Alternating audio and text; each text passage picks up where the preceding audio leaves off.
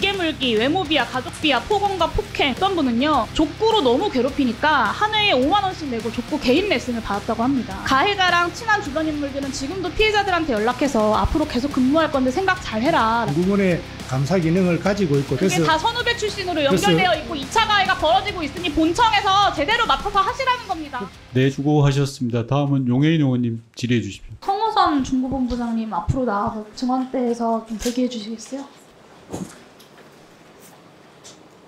네, 화면 봐주시면 중구본 울산 119 화학구조센터에서 발생한 끔찍한 직장 내 괴롭힘 사건입니다. 피해자가 올해 1월 초에 울산센터로 파견을 온 다음에 울산센터장 직무대리를 맡고 있는 가해자로부터 지속적인 폭언과 모욕, 폭행과 성추행에 시달렸습니다. 족구 못한다고 폭언하고 다섯 번이나 귀를 깨물고 제가 정말 너무 충격적이었어요. 사람의 존엄을 정말 무자비하게 짓밟았다라고 볼 수밖에 없는 수준이고 관련해서 조치 경과를 보고를 받았는데요. 참 처참합니다. 보시면 피해자가 경찰에 9월 6일에 고소를 하고 그날 가해자가 4박 5일 해외여행을 나갔어요. 그리고 그 사이에 이루어진 조치는 고작 부서 이동뿐이었습니다. 이틀 그리고 길어야 일주일이면 끝날 수 있는 조사도 한 달을 질질 끌다가 국감 앞두고 MBC랑 JTBC 같은 공중파 언론들에서 뉴스에 나오니까 그제서야 국정감사 4일 앞두고 부랴부랴 10월 6일에 직위회제를 합니다. 이거 전형적인 늦장 조치고 부실 조치입니다. 청장님 이 사건 대응 현재 충분하다고 보십니까? 이게 그 9월 6일 날 언니 말씀하신 바와 같이 대응에 문제 있었고요. 없냐고 여쭙습니다. 경과는 제가 다 말씀드렸습니다. 중구본에서 중구본에서 이제 그 제2차 가해를 방지하기 위해서 그 피해자가 피의자를 분리 아니요, 저는 대응이 충분 하냐고 여쭙고요. 그 과정에 대해서는 저도 이미 다 알고 있습니다. 징계에 대한 의지가 소방청에서 없는 거예요. 사실은 이미 징계됐었어야 하는 사안입니다. 국가공무원법 83조에 따르면 검경 수사 진행된다 하더라도 얼마든지 징계할 수 있습니다.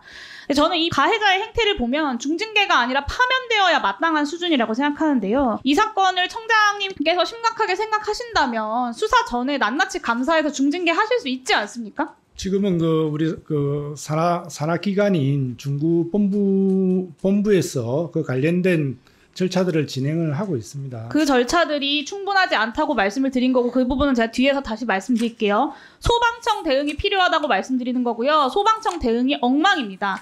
이 가해자가 과거에도 수차례의 비위 행위로 감찰과 징계를 받았던 거 알고 계시죠? 음, 저는 오늘 모르셨습니까? 이 가해자에 의해서 괴롭힘을 당한 피해자가 한 명이 아닌 것도 보고 받으셨습니까? 아, 이 건이 불거지고 나서 관련된 그 피해자가 한 4명 정도 된다라고 보고를 받았습니다. 네, 제가 파악한 것만 6명이 넘습니다.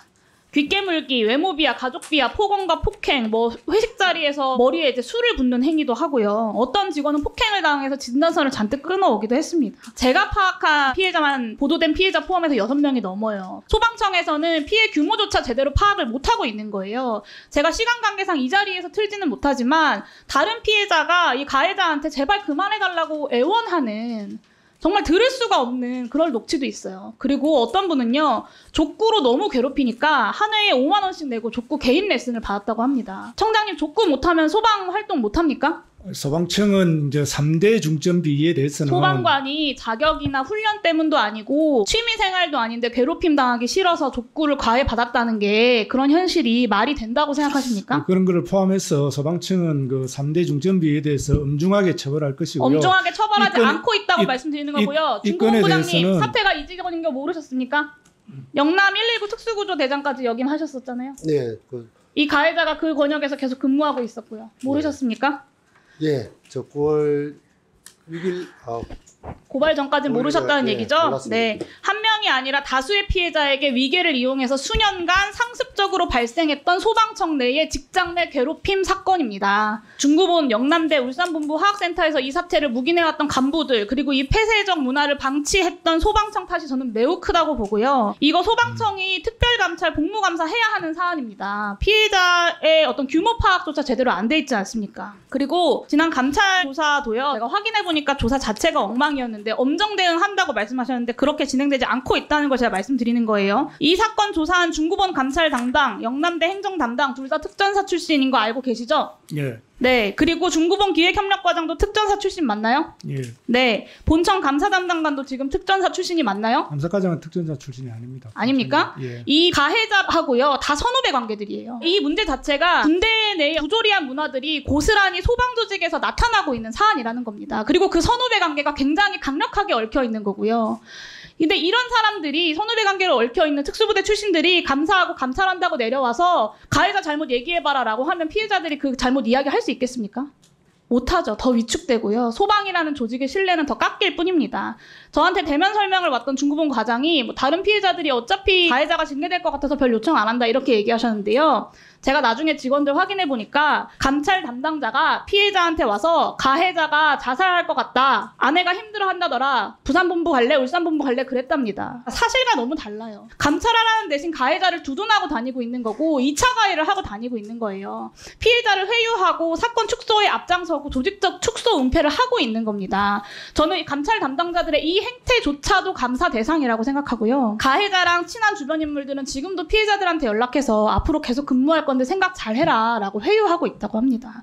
이거 바로 잡아야 합니다. 이 청차원에서 특별감찰 그리고 복무감사 바로 착수하는 거 반드시 필요하고요. 이거 감사팀 구성할 때 특수부대 그 선후배 출신들 배제하고 객관적이고 중립적인 인사로 감사팀 꾸려야 합니다. 그렇게 하시겠습니까? 은인 존중해 주신 말씀은 제가 충분하게 이해를 잘 했고요. 지금 현재 이 건에 대해서는 중구본의 감사 기능을 가지고 있고 자기들 감찰 중구본 기능을 내에서 감사 있습니다. 기능을 하고 있는데 그게 그래서- 다 선후배 출신으로 연결되어 있고 2차 가해가 벌어지고 있으니 본청에서 제대로 맡아서 하시라는 겁니다. 그래서 그 부분에 대해서 진행 과정을 저희들도 유심히 지금 꼼꼼히 들여다보겠습니다. 유심히가 너무 늦었다고요. 올해 초에 그런- 근무하고 있는 사람이 지금 9월에 신고를 했고 벌써 두 달이 지나지 좀 않았습니까? 전에 의원님 말씀하시는 그런 부분이 있는지 꼼꼼히 살펴보고 저희들이 조금이라도 부족한 부분이 있으면 저는 소방청 차원에서 강력하게 처벌하도록 청장님이 하겠습니다. 엄정 대응과 발본 세건의 원칙을 세우고 그것을 현장에까지 그 의지를 내려보내야 이런 문제도 뿌리가 뽑히는 거라고 생각합니다. 그런데 청장님이 오늘 국정감사 자리에서도 이렇게 미적지근하게 나오니까 유야무야 경찰 수사 결과 나올 때까지 버티고 유야무야 버티다 보면 어떻게든 넘어가겠지라는 방식으로 이 조직 문화들이 계속 이어지고 있는 겁니다. 그리고 청장님 영일회라고 들어보셨나요? 아니요, 오늘 처음 듣습니다. 본부장님 들어보셨나요? 영일회? 아, 못 들어봤습니다. 이게요 소방 중구본 영남대 중심으로 가해자 포함해서 특수부대 출신들끼리 모임 사모임입니다. 이게 무슨 줄임말이냐면요 영남 일진회의 줄임말이에요.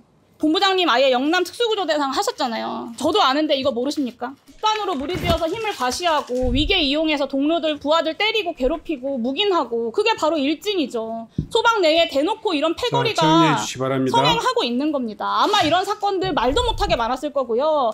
소방 내에 중구본에 영남대에 고의다 못해서 썩어서 터지고 있는 이 문제에 대해서 제대로 징계조차 안 하고 문제 생기면 다른 지역으로 그냥 돌려버리고 마무리하니까 계속해서 반복되고 있는 겁니다. 반드시 이 썩은 조직 문화를 도려내 달라 그렇게 요청드립니다, 청장님. 의원님 그 좀 전에 그 주시는 말씀 충분하게 그, 그 이해를 했고요. 그런 부분들이 그 발본하고 세분될 수 있도록 소방청에서 강력한 청장도 강력한 의지를 가지고 꼼꼼히 지켜보겠 처리하겠다는 말씀을 제가 드리겠습니다. 네, 감사합니다. 저도 끝까지 지켜보겠습니다.